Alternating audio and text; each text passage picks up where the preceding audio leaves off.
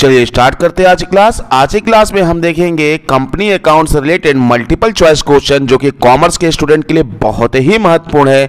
उसके साथ साथ उन बच्चों के लिए बहुत ही महत्वपूर्ण होने वाला है जो बीकॉम एंट्रेंस का प्रिपरेशन कर रहे हैं। तो वीडियो को बिना स्किप किए अंत तक ज़रूर देखिए।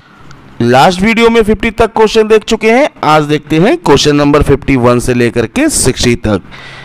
क्वेश्चन नंबर 51 निजी कंपनी की अधिकतम सदस्य संख्या होती है। ऑप्शन है ए है 10 बी है 200 सी है 50 और डी है असंख्य। तो एक निजी कंपनी में सदस्यों की जो अधिकतम संख्या होती है, वो 200 होती है। तो इसका जो राइट आंसर है, वो ऑप्शन बी 200 क्वेश्चन नंबर 52 सार्वजनिक कंपनी की न्यूनतम व अधिकतम सदस्य संख्या है। ऑप्शन ए है सात व पाँच, बी है दस व बीस, सी है सात व असीमित और डी है निर्धारित नहीं। तो एक सार्वजनिक कंपनी जो होती है, उसमें सदस्यों की संख्या जो होती है, कम से कम सात होती है और अधिक से अधिक कोई सीमा नहीं होती है मतलब असीमित होती है। तो इसका जो राइट आंसर होगा, वो होगा ऑप्शन सी, सात व असीमित। Question number fifty three. आवेदन राशि अंशों के अंकित मूल्य से कम नहीं होनी चाहिए। ऑप्शन ए है 25 प्रतिशत से, बी है 10 प्रतिशत से, सी है 75 प्रतिशत से और डी है कोई नहीं। तो आवेदन राशि अंशों के अंकित मूल्य से 25 परसेंट से कम नहीं होनी चाहिए। तो इसका जो राइट आंसर है, वो है ऑप्शन ए 25 प्रतिशत से। क्वेश्चन नंबर 54 ऋण पत्रों पर बट्टा है। ऑप्शन ए है लाभों का नियोजन, बी है लाभों पर प्रभार, सी है संचय और डी है आयोजन। तो इसका जो राइट आंसर है, वो है ऑप्शन बी, लाभों पर प्रभार। क्वेश्चन नंबर 55 केवल पूर्ण प्रदत्त अधिमान अंश ही शोधनी है, ऐसा उल्लेख है। ऑप्शन ए है धारा 80 में, बी है धारा इक्यासी में, सी है धारा उन्यासी में और डी है धारा 78 में। तो केवल पूर्ण प्रदत्त अधिमान अंश ही शोधनी है, ऐसा धारा 80 में बताया गया है। तो इसका जो राइट आंसर है, वो है ऑप्शन ए, धारा 80 में। क्वेश्चन नंबर 56 ऋण पत्रों पर बट्टे को अपलिखित करना चाहिए।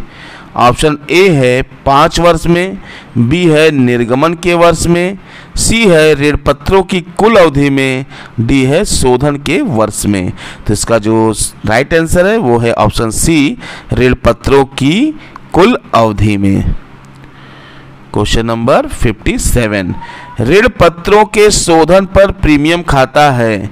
ऑप्शन ए है व्यक्तिगत खाता, बी है वास्तविक खाता, सी है कृत्रिम खाता, डी है हानि खाता।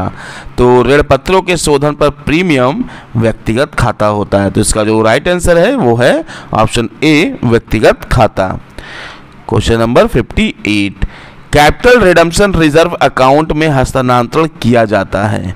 ऑप्शन ए है अंशहरण खाते में से, बी है समान संचय में से, सी है अंश प्रीमियम खाते में से और डी है उपयुक्त में से कोई नहीं।